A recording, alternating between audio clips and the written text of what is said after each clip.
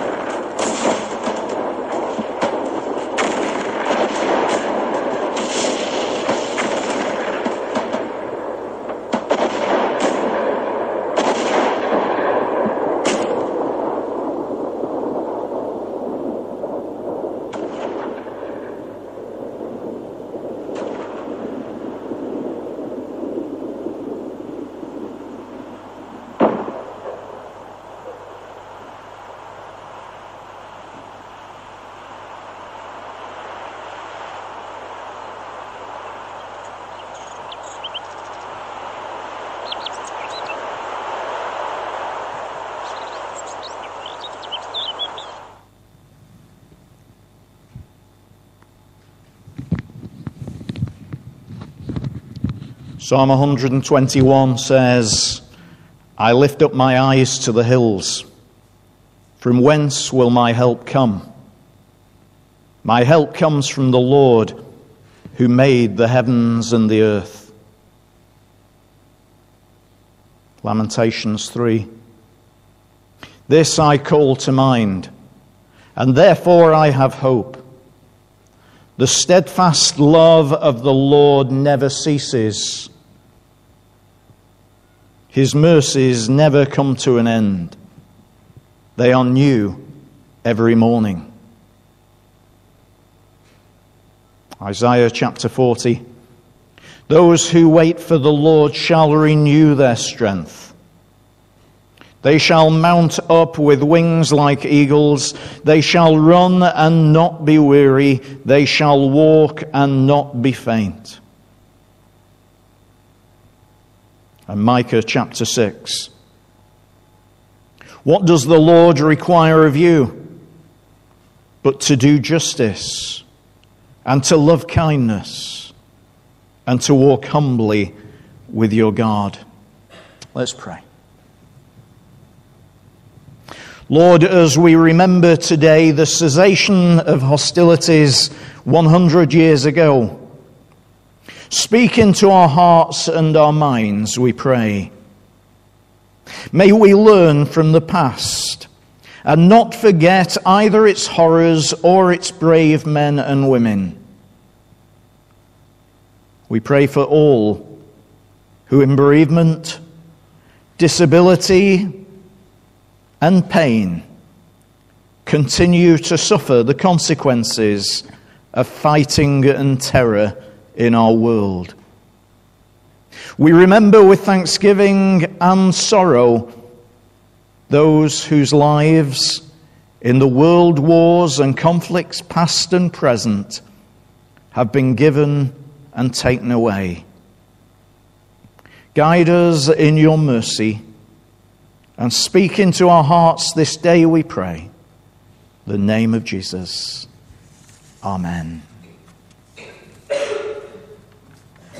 Psalm 46 says that God is our refuge and strength, a very present help in times of trouble. Many of you know that I work in an Anglican church during the week, running a coffee bar for them in the centre of Warrington. I had a young Romanian chap come in last week, and we've currently got an exhibition on about the end of World War I. And he turned to me, he said, Can you tell me, why do you celebrate war? Why do you celebrate war? And he'd interpreted what he'd seen as celebration of conflict and war. I said to him, We don't celebrate war. We remember the end of war. And the end of that war that was meant to be the end of wars. And yet we know that the heart of man is fallen and prone to such as this. He understood a little more. I had a couple of Germans in, and they were looking around the exhibition. And the lady didn't have such good English, but the gentleman did. I was talking to him, and I related to him about the Romanian and the comment that he'd made. And the German gentleman said, No. He said, We must remember, lest we forget. And it happens again. And he's right. He's right. The true story is, told about a young man called Albert Penn. Penn was not long married, and his wife Florence had just given birth to their daughter when he went to sign up. They were both devout and sincere Christians, having first met at a small Wesleyan chapel in their village where he ran a Bible class for boys and she ran a Bible class for girls. He had sought to enlist before, but Albert was refused because Florence was pregnant. Come back when the baby is three months old, they said. He did, but his time was to be short. When baby Mary Estelle was just 11 months old, he lay dead somewhere in the fields. Penn died on the 30th of October 1917. He was just 28 years old.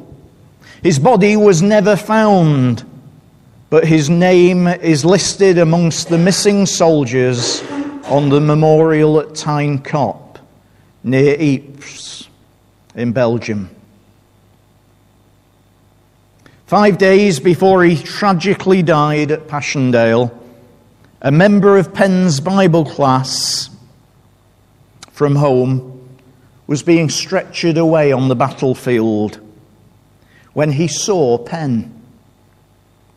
The details of his encounter he relayed back to his family and his family recorded them, lest we forget. Penn's granddaughter, Cynthia Hardiman, now 71 years old, relates that my grandfather was standing outside in an open field on the battleground with a Bible in his hand. He had just finished talking to the young soldiers he then led them in singing the hymn, Rejoice, the Lord is King. She says he was still at heart the leader of a young men's Bible class to the very end. In that situation, he was still preaching. He was still encouraging young fellas and trying to keep up morale. I like to think that in that terrible time, he didn't keep the faith, but the faith kept him. The story of one person lost on the battlefield just over a hundred years ago. Sadly, we take the sacrifices of many men and women who served in the forces during the wars for granted. We too easily forget the price of the peace that we enjoy. I think Remembrance Sunday is one of the most important services in the Christian year, a time when we stop to remember lest we forget. But it's also one of the hardest services to speak into. I'm not old enough to remember the Second World War, never mind the First World War. I'm young. But my father and my mother, they remembered it. My wife's mum and dad, they served in the war. So today, we take a few moments to corporately remember.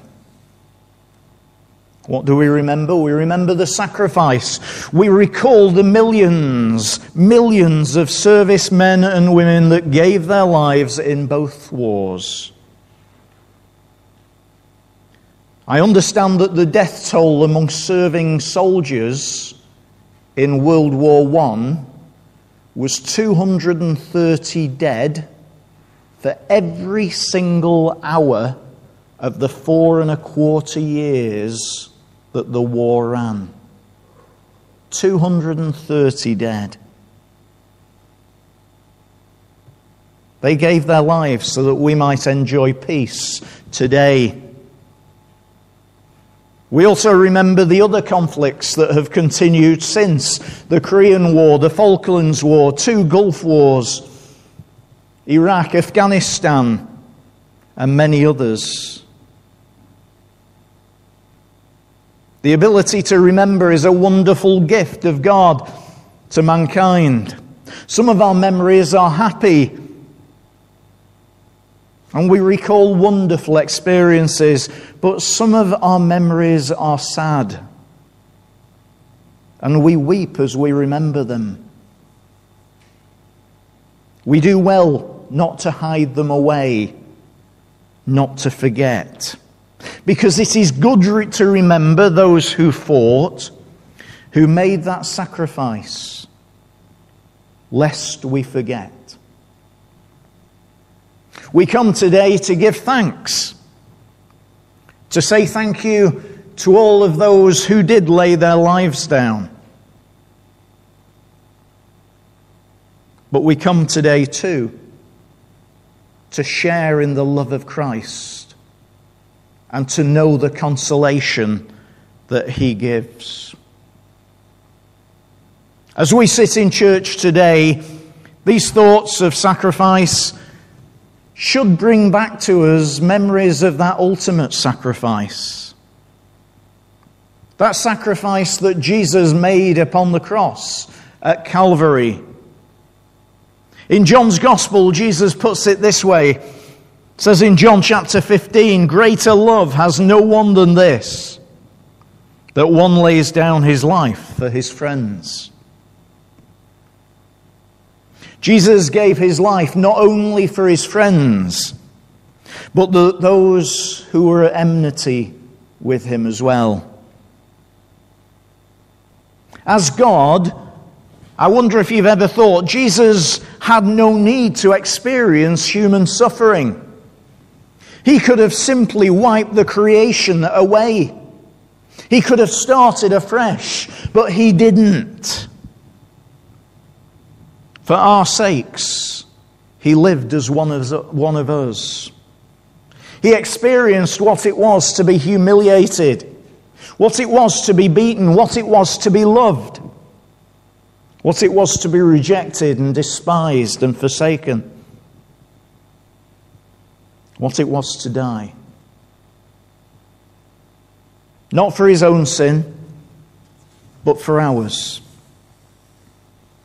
Man's evil, that which we call sin, has separated us from God since almost the beginning. Jesus died that we might be reconciled, dying in our place, play, paying that price that was rightfully ours, the perfect one for the imperfect, dying for you, dying for me.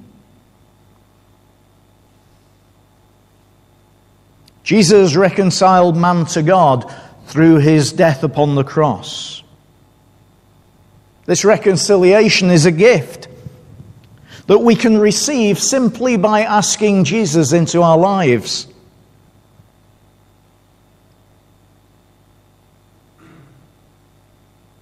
But as the Apostle John put it, for as many as received him, to them he gave the right to become the children of God, even to those who believe in his name.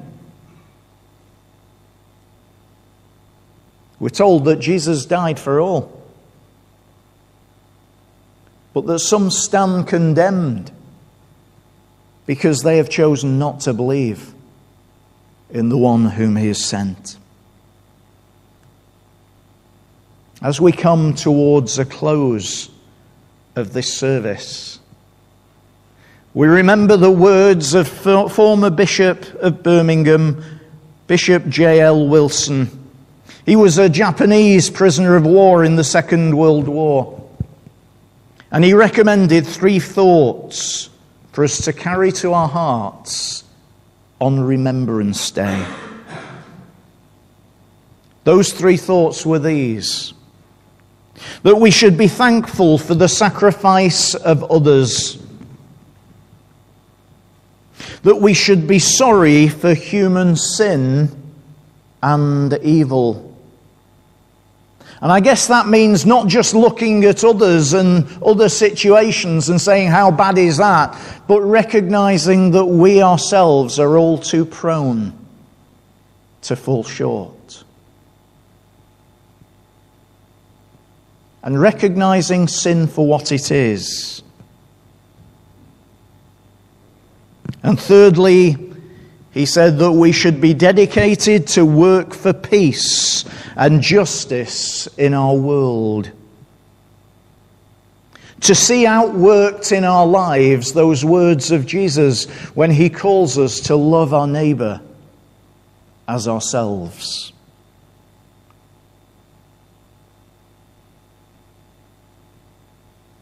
Just before we pray, it seems fitting to share some words that are upon an epitaph in northeast India at Kohima. I guess it sums up partly why we're here today. It says this When you go home, tell them of us and say, For your tomorrow we gave our today. Let us pray.